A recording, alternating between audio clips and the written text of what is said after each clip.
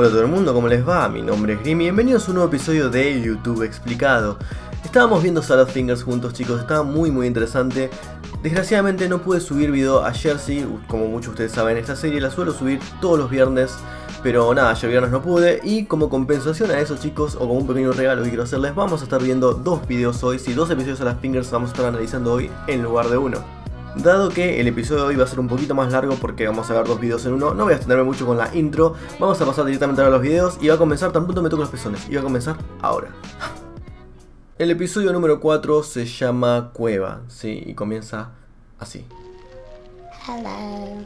Today I'm going to try and find France because I've always wanted to go there. Uh, but, but that little boy has been watching me for a while now. Mm. I think I'll find France another day.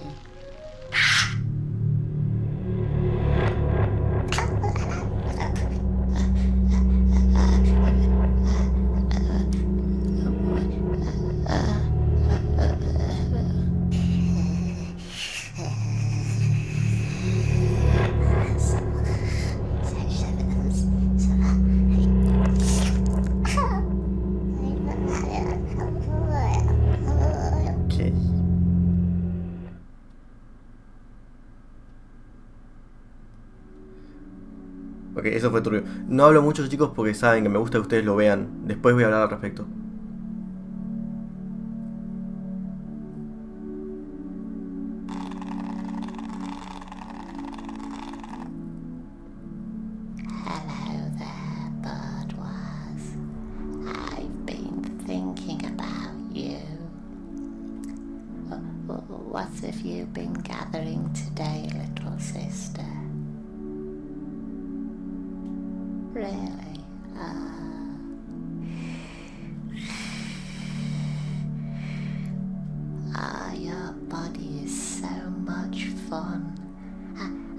I, just want to give you a big stroke.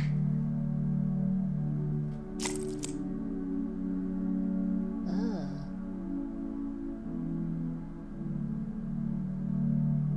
You've gone flat, little sister, Uh, and you're all gooey.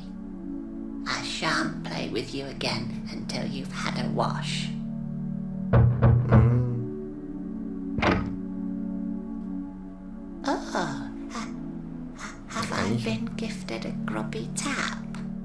Don't think I've ever laid fingers on one of those before. Oh, how I've dreamt of taps. oh, taps. Top, top, top, Tap. top, Tap. Oh, I just want to marry all of you gorgeous taps. Ok. Chirp.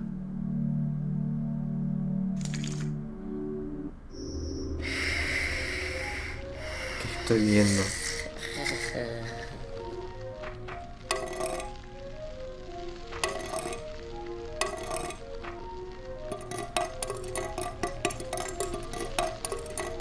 Si quieren capturar a Grim hagan lo mismo, pero pongan una comida al final del hilo y suficiente.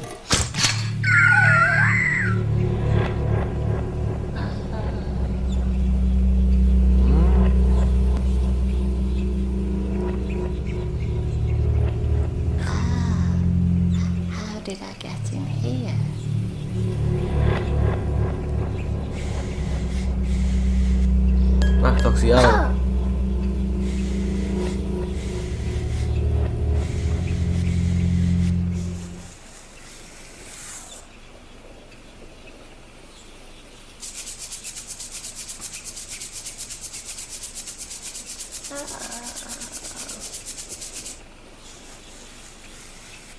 Ah, that was a treat for the fingers.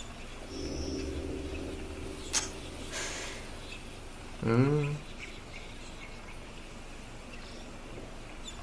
¿Qué es un diente eso? what's this?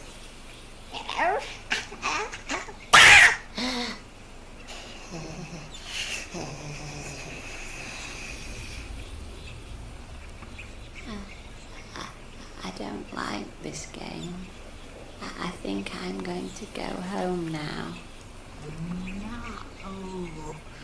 I fell now. Bye bye. Mm. Entendí dos palabras que dijo Bichito.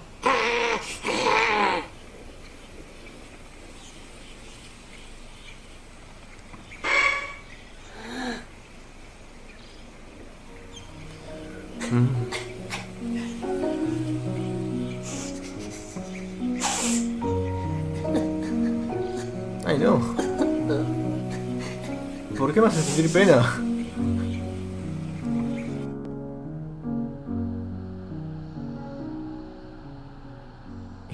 Tan raro esto, es muy extraño. Sigamos con el episodio que sigue, chicos. El número 5 se llama Picnic, ¿sí? Y vamos a verlo los dos juntos y después vamos a reflexionar. Hello, operator. Could, could you connect me up to my old pal Charlie, please? Post haste. ¿Estás enchufado? Pardon?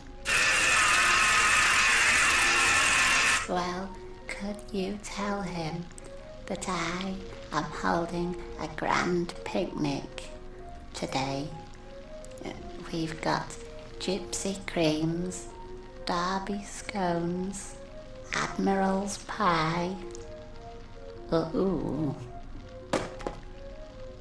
Stop scratching your basket belly, said, Mary Mandolin. How rude. I- I've been disconnected. Oh. Uh, why, if it isn't. Um, but Barbara Logan Price.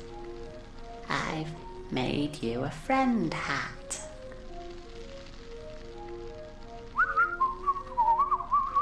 There'll be fog on the shore tonight, bosun. Hmm? Este va a estar difícil.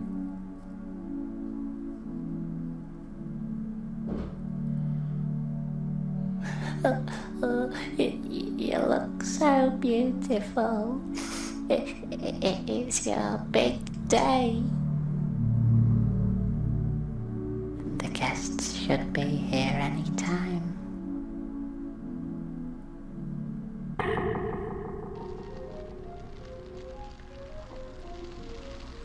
Eso.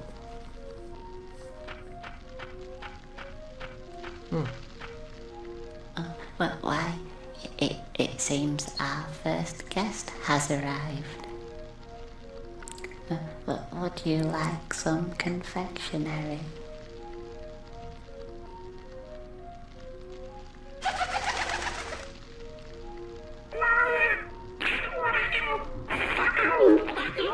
Está poseído grifo. How, how does your Loganberry crumble taste? It's simply delicious, replied Mabel. Uh, I, I must say, you're a well-mannered young lady. I, I, I'd like to elect you as my new playmate. Uh, mira la. That's a pretty looking frock on your body. But but it looks awfully dirty. My tummy box feels broken. Está mal la traducción, después les explico qué dijo ahí. Would you like some peas pudding?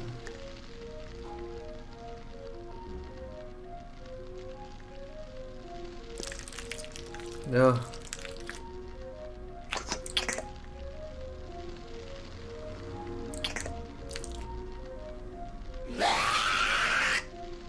Peas pudding hot, peas pudding cold, peas pudding in the pot, nine days old.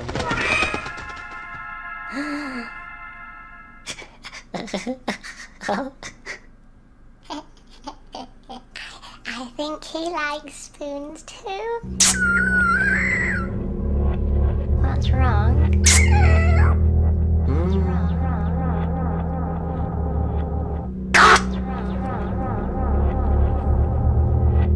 What, what's wrong, Mr. Finger? Do you not like my mouth words?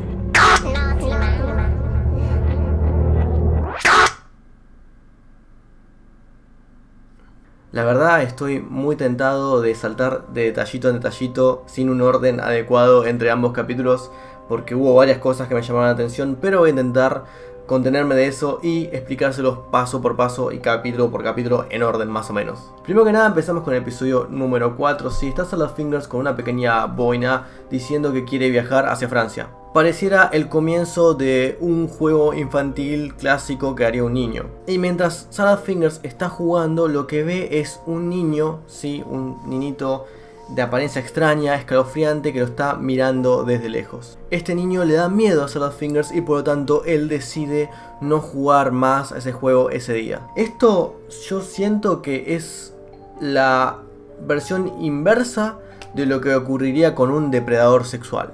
Que qué es lo clásico que haría un depredador sexual. Va a un lugar donde juega un niñito, va y lo mira al niñito jugando, si el niñito juega algo y el niñito como que lo percibe y le da miedo. Así que quizás esta es la manera de Salad Fingers de escapar de eso, de interpretar que él no es el depredador, sino que lo es el niñito y que él estaba jugando y que el niñito es el que quería algo más con él que él no deseaba. A su vez, el niño que observamos es feo, es deforme, tiene los dientes filosos, se comunica con gruñidos, sí, es algo realmente espantoso. Luego en la siguiente escena vemos como Salad Fingers está en su casa nuevamente, sí, oculto, sí, quizás oculto de este depredador, de este niñito, lo que sea, para jugar otra cosa, o estar más tranquilo, o distraerse. Este, y en un momento sale una pequeña oruguita, ¿sí? que le dice Bordeaux, Bordeaux, no sé cómo se pronuncia, pero es claramente un nombre francés. Y acá está el primer asunto de traducción que no estoy en desacuerdo con la persona que lo tradujo, igual le agradezco mucho por haber traducido, pero por ejemplo, una parte dice, dice, Your body is so much fun, o sea, tu cuerpo es tan divertido, y eso puede interpretarse de otras maneras, tu cuerpo es tan divertido. Y después dice, I just want to give you a big stroke. Y stroke no solamente quiere decir una caricia fuerte, también puede significar eh, apretar algo o sacudir algo en una emoción sexual incluso. Dense cuenta que una vez que Sada Fingers lo aprieta o lo que sea, queda sorprendido y ligeramente asqueado. Dice, wow, te aplanaste todo y estás todo pegajoso. No voy a jugar con vos hasta que te bañes de nuevo. Lo cual puede indicar nuevamente a un depredador sexual que tuvo relaciones ¿sí? con su víctima, que se sacó las ganas ya de encima una vez que terminó con su víctima y ahora dice, estás todo pegajoso, estás todo ap- aplanado, no me gustás, no voy a jugar con vos hasta que no te bañes. Indicando un desprecio posterior al acto sexual una vez que ya eh, pudo satisfacer sus deseos más bajos. Obviamente es una interpretación libre esto, pero nada, a mí me grita, me dice a gritos eso, porque de repente tenemos un bichito con forma fálica y le dice, tu cuerpo es tan divertido, tengo ganas de apretarlo todo, lo, destruye, lo aplasta, o sea, indicando que, que le hace daño en lo que está haciendo, y de repente dice, estás todo pegajoso, ya no quiero jugar más con vos, es como que me da lugar a esas interpretaciones a mí. Luego está este grifo de nuevo, esta canilla de nuevo atada a un hilo y es obviamente una trampa de este niño, este depredador, en cómo utilizan eh, cosas o regalos o juguetes o, dulces o lo que sea para atraer niños hacia ellos. Usan como estos especies de cebos que en definitiva es eso, es una trampa que usan para atraer a los niños. Salad Finger sale de su casa, de la seguridad de su casa y empieza a seguir este grifo hacia lo desconocido, como podría haber hecho un niño o niña engañado que vaya a ver a este depredador. Nuevamente pienso que es el punto de vista del depredador, sí, pero a través de los ojos inocentes de Salad Fingers que siente que eh, no es su culpa y que es al revés, porque justamente la, personalidad de Salad Fingers es inocente. Salad Fingers nuevamente sueña con los grifos y lame uno de ellos, en algo que es bastante perturbador y también ligeramente sexual, o capaz que mi mente está quemada. Ah, si alguien me pagara para dije sexual en este video. Salad Fingers llega finalmente a un bosque oscuro, ¿sí? lugar donde lo un lugar oscuro obviamente es donde lo llevan, y su pierna se ve atrapada por una trampa de oso, ¿sí? Esto que debería ocasionarle mucho dolor y que obviamente lo hace sangrar, simplemente lo sorprende e incluso le da placer en un momento. Salad Fingers luego comienza a mover las manos a través de los barrotes. En una, en una moción un tanto extraña, sí. Y ese movimiento que está haciendo Salad Fingers se puede considerar un stroke. Para que, si no me podía explicar antes lo que era un stroke, eso es un stroke, lo que está haciendo Salad Fingers ahí. Este niñito vuelve a aparecer frente a Salad Fingers, tiene un corazón sangrante atrás de él.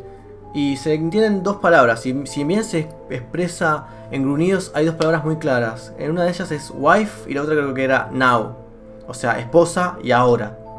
El niño se queda llorando cuando Salafinger se va, se entristece y Salafinger se va montado en una canilla hacia la libertad. En cuanto al siguiente episodio, el número 5, Salafingers, quiero abrirles la cabeza a la posibilidad, sí, un tanto extraña, de que quizás Salafingers no sea un hombre, sino que sea una mujer. O que por lo menos se ponga en papel de mujer por momentos. ¿Por qué estaría asumiendo su género de esta manera? Piensen en el episodio anterior, en un momento en el cual le sale leche de uno de los pezones. Eso pudo haber sido fragmento de su imaginación o pudo haber sido real, pero en caso de que le estuviese saliendo leche, entonces indicaría que Salafingers es una mujer. En el episodio número 5, en un momento está vestido con ropas de novia y dice que este va a ser su gran día. Hay dos momentos determinantes que no están bien traducidos, o están bien traducidos, pero podrían tener otras interpretaciones en inglés. En otro momento lo traducen como que él está lleno, pero lo que dice en inglés es My tummy box feels broken. O sea, la cajita de mi pancita se siente rota. Esto puede indicar tranquilamente algún tipo de, no sé, algún instinto materno, aborto, varias cosas. Y dice que la cajita de su panza se siente rota. Es una interpretación rara para que se refiera a comida, quizás como estar lleno de comida no, suene, no suena una expresión que alguien dice cuando está lleno. Es una expresión que tiene que ver con aborto, justamente.